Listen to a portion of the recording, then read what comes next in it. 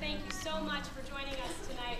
Um, we hope you enjoyed the program we put together, and thank you again.